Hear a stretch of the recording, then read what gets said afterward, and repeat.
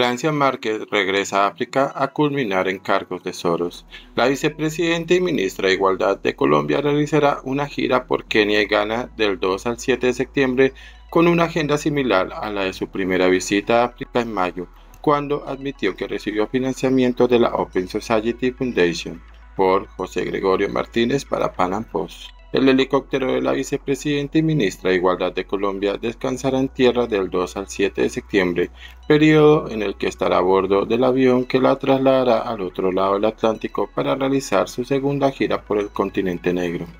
Francia Márquez regresa este sábado a África para dar continuidad a la agenda iniciada en su primera visita en mayo, la cual fue financiada por la Open Society Foundation del multimillonario y promotor de planes globalistas George Soros, según reconoció en ese momento en su cuenta de Twitter, con un mensaje de agradecimiento por el apoyo financiero y logístico a su recorrido por Sudáfrica, Kenia y Etiopía. La nueva gira de Francia Márquez por África incluye dos países, pues no solo regresa a Kenia, sino que aterriza también por primera vez en Ghana, según la información divulgada este miércoles por la prensa colombiana citando fuentes oficiales de la Cancillería.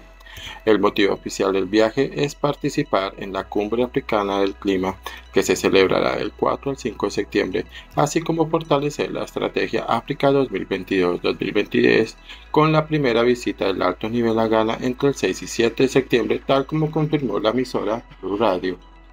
Trabajamos en un programa que se llama Ella Exporta África y busca fortalecer los emprendimientos de micro, medianas y pequeñas empresas de las mujeres en territorios vulnerables para que ello fortalezca su autonomía económica, precisó posteriormente la vicepresidenta Francia Márquez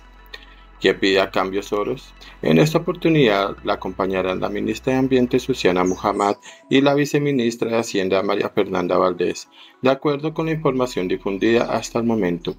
La anterior gira fue muy polémica por haber llevado una comitiva de 53 personas, incluyendo a la pareja sentimental. Luego del agradecimiento público a la Open Society Foundation, la segunda a bordo en el gobierno de Gustavo Petro justificó el aporte recibido alegando que no podía cubrir con recursos del Estado el traslado de 26 personas de la sociedad civil entre artistas, líderes sociales y académicos que viajaron con ella, y por esta razón asumió estos gastos la organización fundada por George Soros.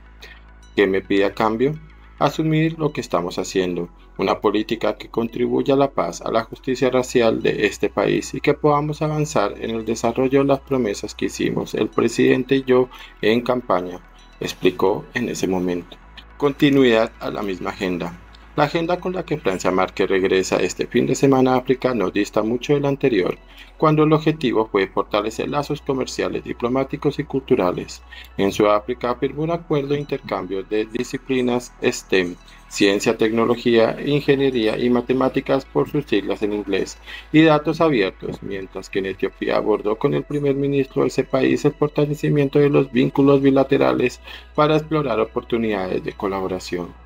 que busca la Open Society Foundation en la región. El mensaje de Francia Márquez hace tres meses incluye un reconocimiento a la organización de Soros por su aporte al fortalecimiento de las democracias en América Latina y el Caribe y el papel de las comunidades étnicas frente a la crisis climática. Y es que justamente la narrativa sobre la asistencia de una emergencia en materia ambiental, la promoción del aborto y la llamada justicia racial forman parte de la agenda globalista que Soros financia en el mundo y que coincide con las promesas hechas en campaña por Gustavo Petro y Francia Márquez que se incluyen entre las condiciones que la organización pide cumplir a cambio de los aportes económicos. Ya en febrero trascendió que el empresario promotor del globalismo destinó 16 millones de dólares a planes progresistas de Gustavo Petro, según declaró entonces a la agencia EFE el director ejecutivo de Open Society Foundation para América Latina y el Caribe, Pedro Abramovay.